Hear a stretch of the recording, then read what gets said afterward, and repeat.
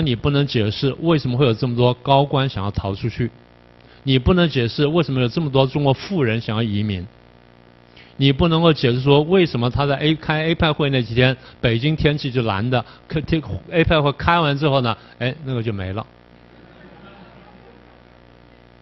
现在是寒假期，其实我还没放寒假，因为我成绩还没交，交成绩才叫放寒假。我成绩还没交，说寒假还没放。过两天交了成绩之后，我才叫放寒假。前天我几个大陆学生跟我讲说：“哎呀，老师，这个学期末了什么等等，我要出去玩。”我说：“你要出去玩，你不回家去吗？”他说：“不回去。”我为什么不回去？啊，爸爸妈妈过来过年。哦，我说不错，不来台湾过年。然后他就很神秘的问我说。你明老师，你知道为什么我爸爸妈妈来台湾过年吗？我说不晓得什么原因吗？他说因为北边空气太差，他逃到台湾来要呼吸一个这个新鲜空气，过个好年啊！我说这样子，所以很多年前我就鼓吹一个概念呢，要把台湾打造成为中国的瑞士。这话有道理的。什么叫中国的瑞士？大家听清楚啊！就是大陆同胞也好，台商也好，在大陆礼拜一到礼拜五认真工作，用力赚钱。礼拜五坐最晚一班飞机来到台湾，然后欢度周末。礼拜一大一大早第一班飞机飞回去，再继续要上班五天。这叫做中国的瑞士。你们想象不到这个建议是谁给我的？是一个大陆非常有名的表面上亲共的学者给我的建议，棒吧？中国的瑞士是一个大陆的大陆学者提供给我的战略构想，棒极了，棒极了。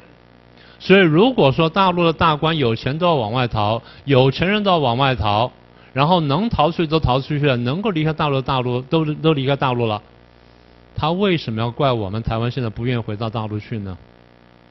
他有什么理由怪我们呢？你变好了，我过去应该的；你不变好，你强要把我拉进去，这话是不合适的嘛？所以我们真的是在唱衰大陆吗？还是说有些媒体太过唱好大陆了，而我们看不见真相了？《Navarro》这本书不就帮我们解决了这个问题吗？当然，《Navarro》这书里面还骂了很多人。各位如果看的话，他骂了很多学者、专家。媒体、政客等等说他们都帮中国掩饰，然后这抹红，然后这涂脂抹粉，一点都不错。我也看到很多这种人，台湾这种人也不少。坦白说，也不是只是蓝营，蓝绿都有，我们都看到。所以我们现在真正要讲说要爱台湾，要从价值上爱台湾，不是说只是爱台湾这个地方而已。我们是要把这个价值凸显出来。那么今天我们要谈的呢，也就这东西了。那么在座的朋友呢，可能跟我一样是外省第二代，可能对大陆呢有非常强烈的情怀。我完全赞成，我们不能没有民族主义。但是我要分清楚，哪一种民族主义才是合适的民族主义？纳粹时候不是很多人也有很强烈的德意志民族主义吗？今天他们会以那个民族主义为荣吗？日本侵略亚洲的时候，不是有很强的大日本民族主义吗？今天的大今天日本人还以当年的民族主义为荣吗？今天好了，看起来共产中国崛起了，大家欢呼了，民族主义热泪盈眶了。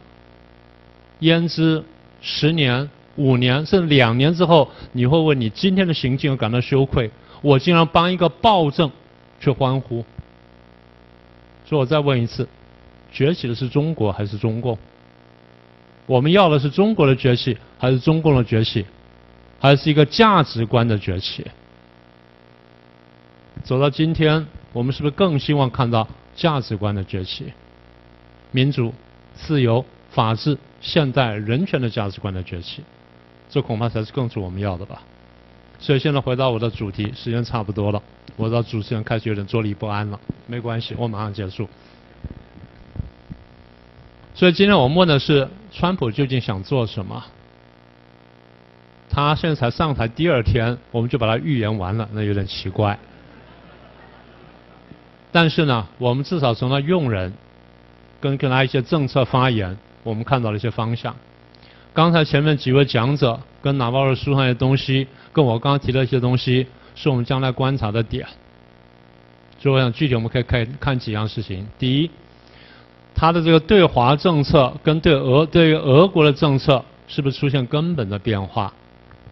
我们不管一中还在不在，那个并不是很重要。他可以嘴巴上讲一中，但继续对付他。他可以嘴巴上讲一中，但是我推动了和平演变的战略，那这个我们可以接受，但不能以牺牲我们为代价啊！这第一个指标。第二指标就是他是不是真的会跟中共展开某种程度的贸易战，不必然是那么激烈的贸易战。他不一定提到次数，我认为他是讨价还价用的。但他只要提升到一定程度，使得美国公司认为说到回到美国生产，其实成本相对低廉。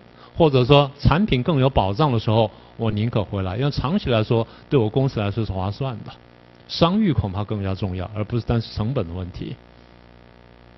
那么再来就是他的俄国的战略会怎么样？现在大家看到说他会不会联俄制中？以现在角度来看，联俄制中不太可能，但是改善跟俄国的关系，然后形成对中共的压力，这事情完全可能发生。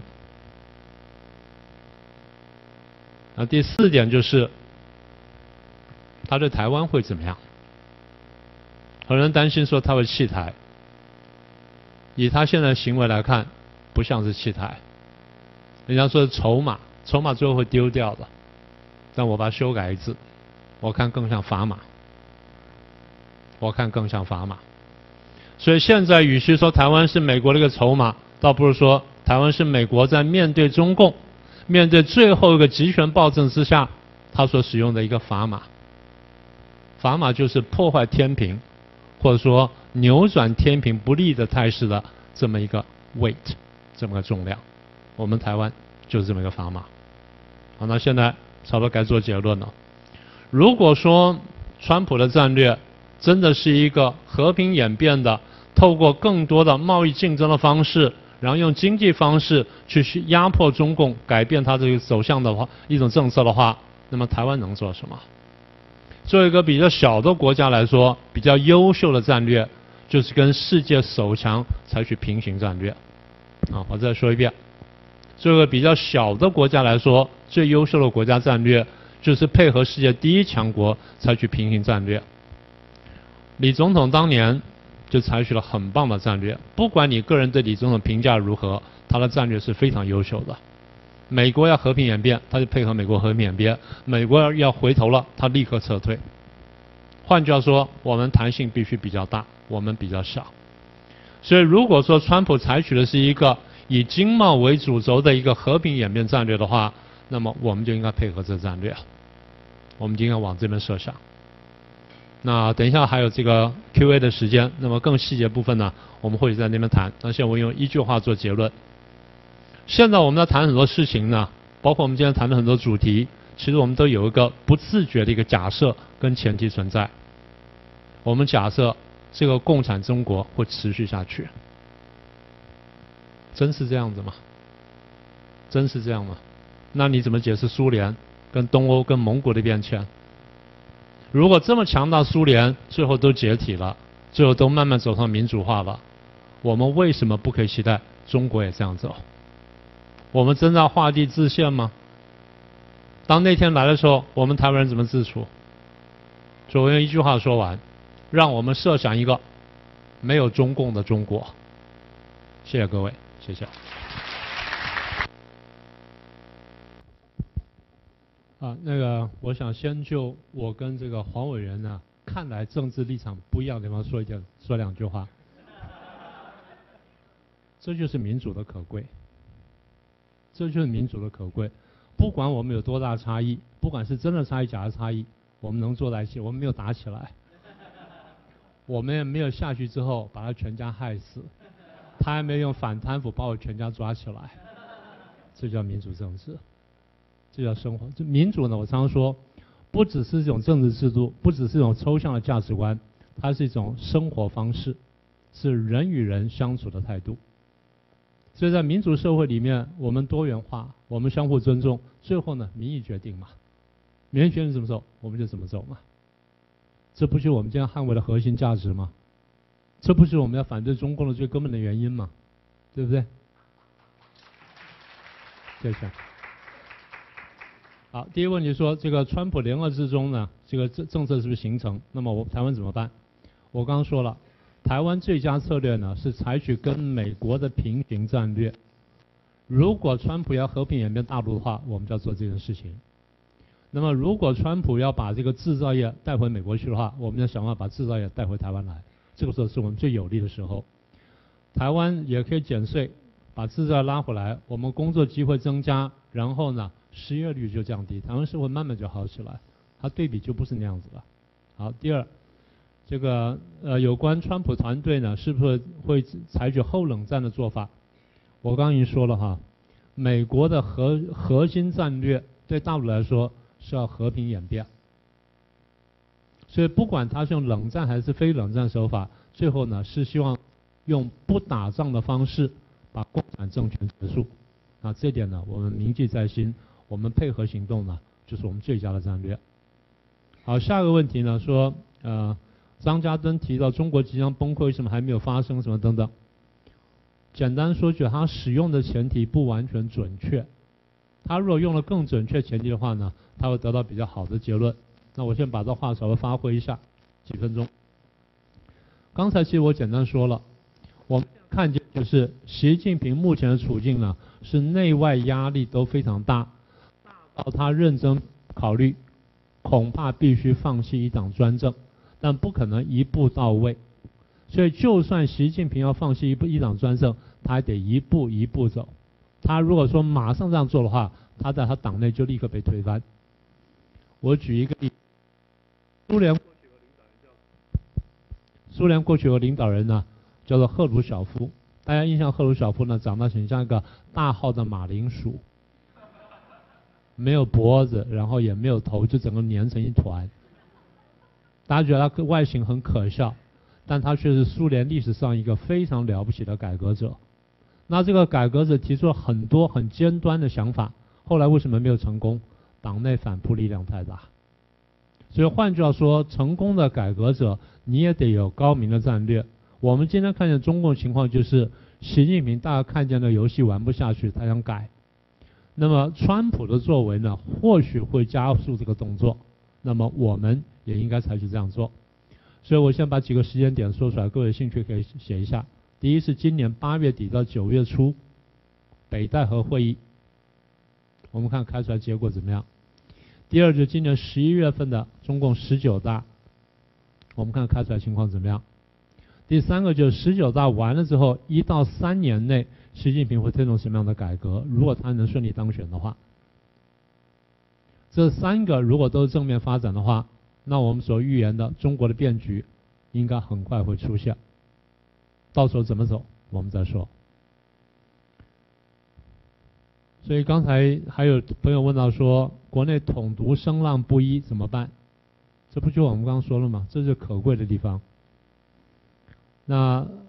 大家晓得说，我是比较赞成中国统一的，但是不是接受中共的统一。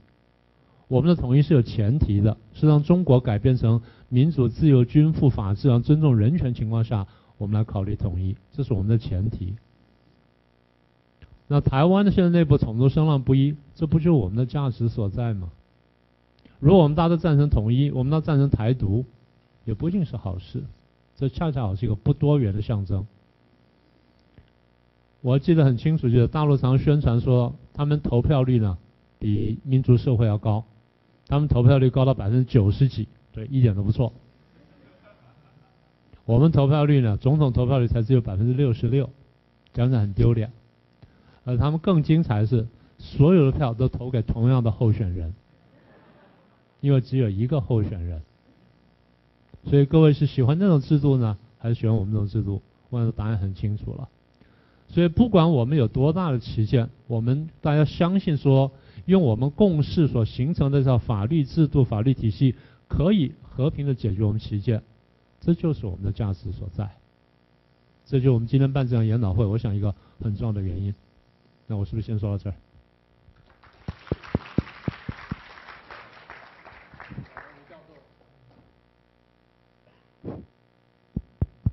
吴教授有特别给再丢一个题目给我，这个跟郭台铭有关的哈。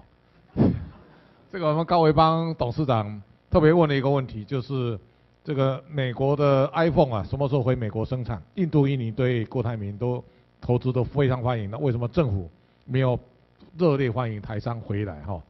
刚刚这个明老师讲，我特别补充一点，这个老郭在前年哦，这个县市长选举的时候，他去帮胡志强助助选。郭台铭讲一句话，他说民主不能当饭吃。后来我在脸书写了一篇文章，他后来他对我非常不满。为什么？我说民主虽然不能当饭吃，但可以保得住你的女儿跟你的太太啊。为什么呢？在集权体制下，以前啊生一个女儿啊，如果长得很美啊，那你会提心吊胆，因为啊你被县令看到、皇帝看到，显得妃子啊，或晚上陪他睡觉，你毫无抵抗力啊。所以这个民主社会呢，最少没有人敢公然干这种事。所以民主是有很有价值的哦。所以当老郭在讲说民主不能当饭吃啊，我说，假如这个他没有修正，以后没有资格选总统，哦，这个这个是老郭将来最重要一个挑战。为什么？你要竞选总统，你最少对民主体制这个价值要遵守的。还有一个就是说，要各位要知道，很多人问我一个问题，他说到底美国比较强还是中国比较强？我说当然美国强啊，为什么？美国的创新是没有框架的，中国创新是有框架的。但最重要一点是什么？美国人赚到钱绝对没有你没有看到有人是把钱藏到中国去啊。中国赚到钱一定都藏到美国啊，啊，所以哦，这个所谓人类的价值啊，这个叫做价值，这个是无法改变的价值。我想这是非常关键的哦。